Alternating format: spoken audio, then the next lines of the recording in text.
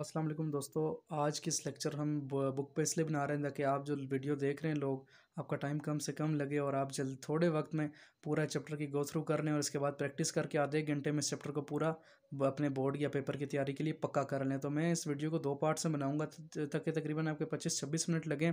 लेकिन आपका चैप्टर पूरा क्लियर हो जाए। जो पहला पार्ट है, हो सकता है उसमें आपको कई ऐसी चीज़ें हैं जो जिसमें कन्फ्यूज़न बाकी रहे। जब आप इसका दोस्तों पार्ट नंबर टू देखेंगे, मैंने ऐसी चीज़ें कही हैं जो रिवाइज़ कराई हैं और यकीनन आपको वो चीज़ें दूसरी बार में समझ आ जाएँगी। मैं उम्मीद करता हूँ तो अब दोस्तों हम चैप्टर को स्टार्ट करते हैं। D and F block elements तो D and F block elements में सबसे पहले आपने इनकी डेफिनेशन लिखनी है इनको हम ट्रांजिशन एलिमेंट्स बोलते हैं D and F element element block elements को।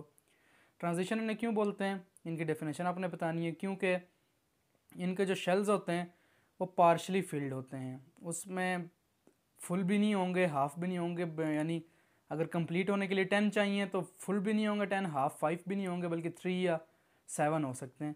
और दूसरा, दूसरी वजह क्या है कि इनके जो एस और पी के दरमियान वाली इनकी प्रॉपर्टीज़ हैं, ना एस वाली प्रॉपर्टीज़ ये रखते हैं, ना पी वाली तो इसलिए हम इनको डी और एफ़ ब्लॉक एलिमेंट्स बोलते हैं। अच्छा अभी हम सीरीज़ ऑफ़ ट्रांजिशन एलिमेंट्स देखते हैं। आप अगर अपना पीरियोडिक टेबल खोल के सामने रखना है इसमें डी जो ब्लॉक एलिमेंट्स हम पढ़ रहे हैं डी एफ़ ब्लॉक एलिमेंट्स इसमें डी आप जब खोल के सामने रखेंगे तो आपको पहली सीरीज़ नज़र आएगी, जो थ्री डी सीरीज़ इसको हम बोलते हैं, जो एस सी से जिंक तक है, दूसरी फोर डी सीरीज़ है वाई से सी डी तक है, इस तरह five D six D series आपने उधर से ढूंढ के निकालनी है, ये आपका काम है। इसके अलावा इंपॉर्टेंट है आपको अपना फॉर्मूला याद करना है, इसके अलावा अब एफ़ पाएँ, उसमें बहुत सीरीज़ एक शुरू हो रही है सी से एल यू तक इसको लेफ़्ट नाइट्स भी कहते हैं फोर फिर आगे फाइव फाइव शुरू हो रही है आपने बोल के इसके बाद दो ऐसे ट्रांजिशन एलिमेंट्स में ऐसे दो ग्रुप्स हैं जिसको जिंक ग्रुप या कॉमन मेटल ग्रुप्स हम बोलते हैं, इनको वन बी और टू बी ये सही तौर पे हम इनका ट्रांजिशन एलिमेंट नहीं करते। क्योंकि ये, क्योंकि इनकी वजह यह है कि ये अपने जो इनके इलेक्ट्रॉन्स हैं, अपने शेल्स में कंप्लीट रखते हैं। जिस तरह जिंक के डी टेन है, यानी वो कंप्लीट हो गया तो फिर तो वो ट्रांजिशन रहा नहीं है। लेकिन थोड़ी इसके पास की प्रॉपर्टीज़ हैं, ये कम्प्लेक्सेस बनाता है। इस वजह से हमने इसको ट्रांजिशन एलिमेंट में अभी तक रखा हुआ है। तो आपसे ये भी सवाल आ सकता है कि टिपिकल नॉन टिपिकल टिपिकल होते हैं जो पक्के ट्रांजिशन एलिमेंट्स हैं। नॉन टिपिकल कौन से होते हैं?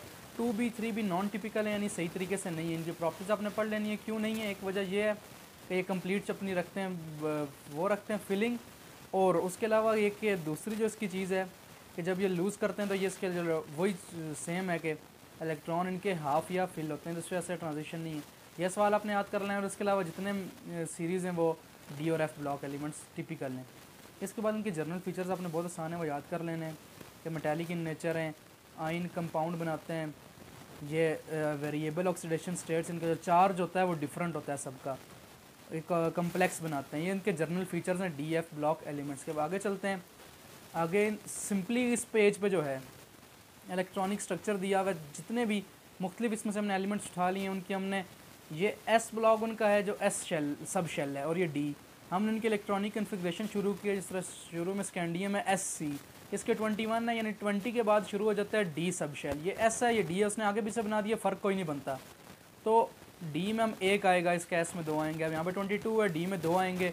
और डी में टेन आ सकते हैं इसलिए हर खाने में यहाँ पे पाँच खाने और पाँचों खाने में दो दो आ सकते हैं। इलेक्ट्रॉनिक कन्फिग्रेशन एक बार इसकी प्रैक्टिस कर लेना। ये वैसे आप एटॉमिक नंबर आपको पीरियोडिक टेबल गिवन होगा, वहाँ से आप खुद इसको कैलकुलेट कर सकते हैं। ये ऑफ़ बाउ प्रिंसिपल से अगर वो नहीं आता आपको कमेंट्स में बताएँ, वो भी हम करेंगे। यहाँ पे अब उसने बताया हुआ है कि कौन कौन से एलिमेंट उसकी कौन कौन सी कन्फिग्रेशन है। बहुत ईजी आप पढ़ लेना कि एक बार। हर एलिमेंट जो है एस डी और एफ़ ब्लॉक का। आगे चलते हैं बाइंडिंग एनर्जी को। बाइंडिंग एनर्जी यानी किस तरीके से जितने भी एलिमेंट्स हम ओवरऑल पीरियोडिक टेबल में देखते हैं बाइंड किस तरह हुए और उनमें कितनी सबसे स्ट्रॉन्ग एनर्जी किसकी है। अगर हम ग्राफ को देखें दोस्तों तो इसमें जो वी है वनेडियम ये वी ये है कौन सा ट्रांजिशन एलिमेंट आता है ये डी एंड एफ़ ब्लॉक में। इसकी बाइंडिंग एनर्जी सबसे ज़्यादा है। वजह क्या है? इसकी आपने रीज़न क्या देनी है? क्योंकि अगर हम यहाँ पे वेनेडियम देखें, इसके पास तीन अनपेयर इलेक्ट्रॉन है तो ये तीन अनपेयर हैं तो फिर ये तीन अनपेयर और के साथ कंबाइन होके अपनी बॉन्ड तो उसने मुकम्मल करना है, यानी सही स्ट्रॉन्ग बॉन्ड बनाएगा। तो ये रीज़न आपने देनी है क्यों? ये स्ट्रॉन्ग है। और वेनेडियम से ये प्रियोडिक टेबल है, दोस्तों, सोचें आपका वेनेडियम से इस तरफ़ आएँगे, एनर्जी डिक्रीज़ होगी इस तरफ़ जाएँगे, एनर्जी फिर भी डिक्रीज़ होगी वेनेडियम तक। आप कह सकते हैं कि इसकी सबसे ज़्यादा है। आगे चलते हैं। आगे क्या कह रहा है? Variable oxidation state. Variable oxidation state बहुत ही आसान दोस्तों टॉपिक है।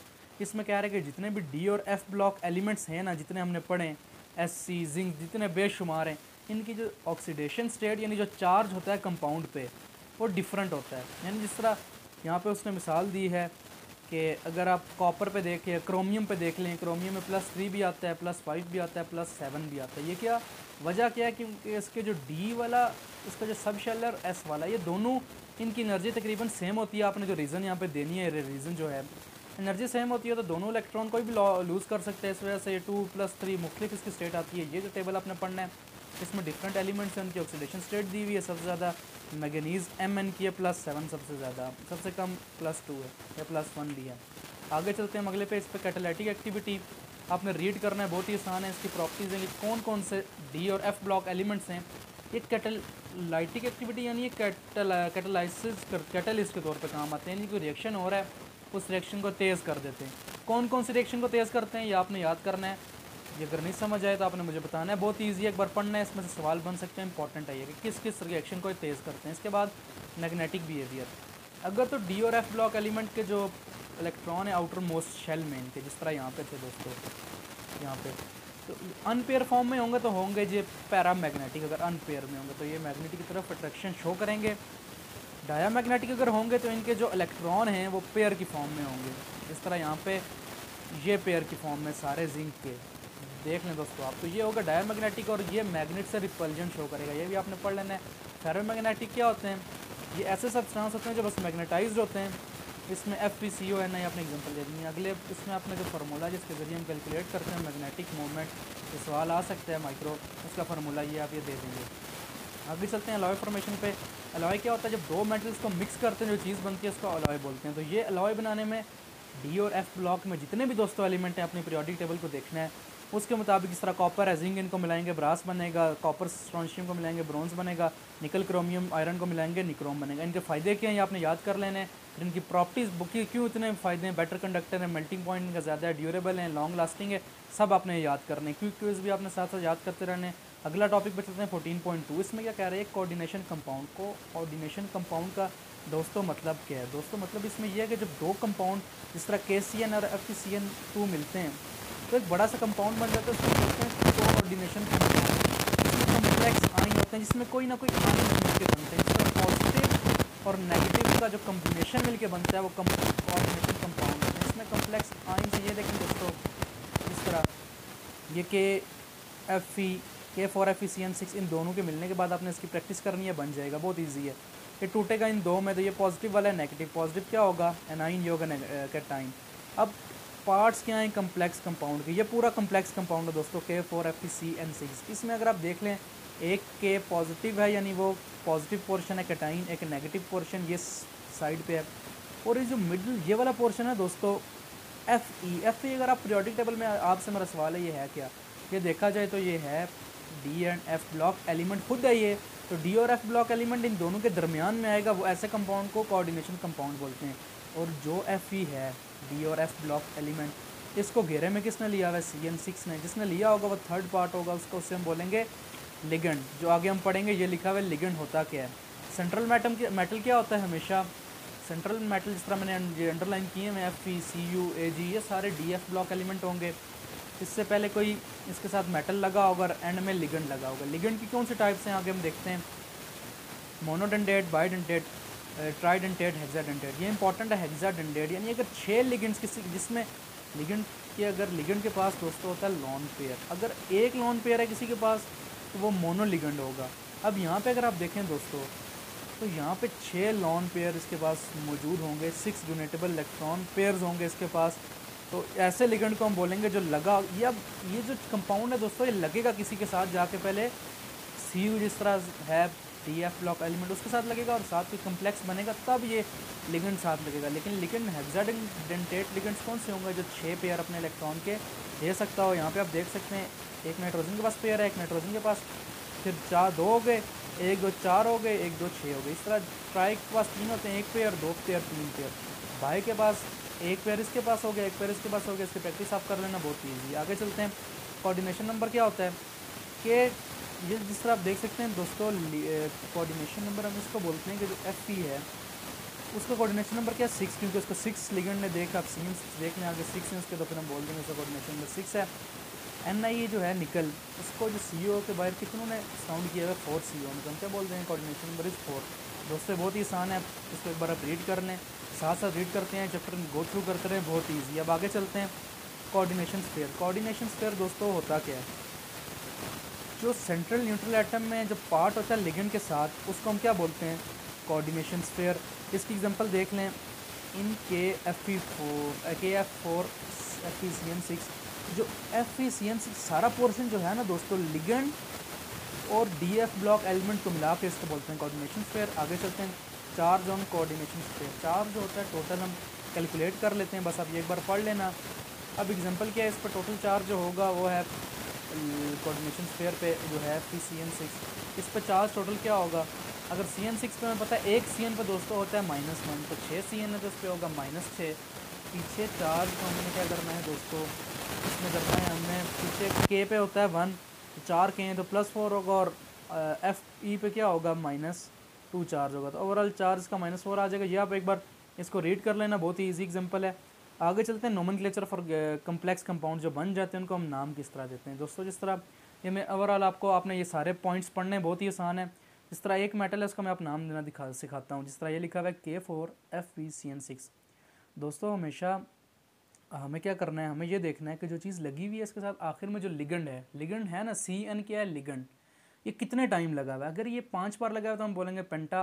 ये कितने टाइम दोस्तों लगा हुआ है सी एन छः टाइम लगा हुआ तो हम बोलेंगे हेक्सा।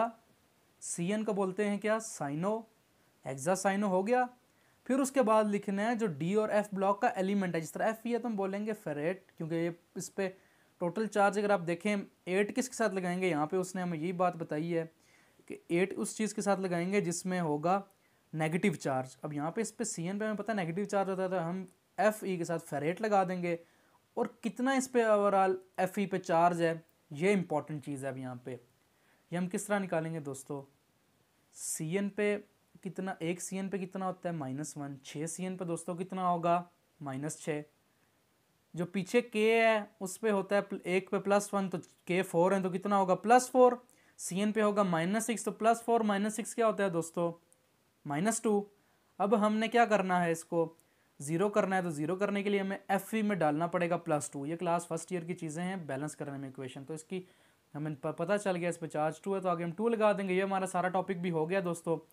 अब इसके बाद ये देखना है कि shape of complex ion with coordinate coordination number two four and six coordination number आपको पता है कि कितने लिगेंड्स ने जो सेंट्रल एटम है सेंट्रल मेटल कौन है? कोई भी डी एफ़ ब्लॉक एलिमेंट जिस तरह एम ले लेते हैं मैगनीज कोई भी आप ले लो आयरन ले लो, उसको कितने ने सराउंड किया हुआ यहाँ पर दो ने किया तो कोऑर्डिनेशन नंबर दो होगा, चार ने किया, चार होगा छः ने किया छः होगा, इसमें क्या आसान है?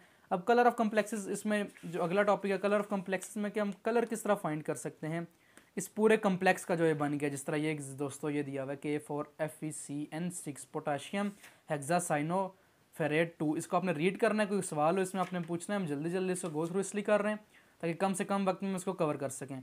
आगे चलते हैं। इसमें क्या कह रहे हैं दोस्तों? अभी जो कम्प्लेक्स होता है, या तो वो होल सारी लाइट अब्जॉर्ब कर लेगा अगर वो लाइट उस पर हम वाइट लाइट सबसे पहले कोई भी दोस्तों हमारे पास कम्प्लेक्स है कंपाउंड है, उस पर हम वाइट लाइट को स्ट्राइक कराएँगे। अगर वो सारी लाइट को ऑब्जॉर्व कर लेता है तो फिर उसका कलर हो जाएगा ब्लैक अगर सारी रिफ्लेक्ट कर देता है तो उसका कलर क्या हो जाएगा दोस्तों? सिंपल बात है वाइट हो जाएगा।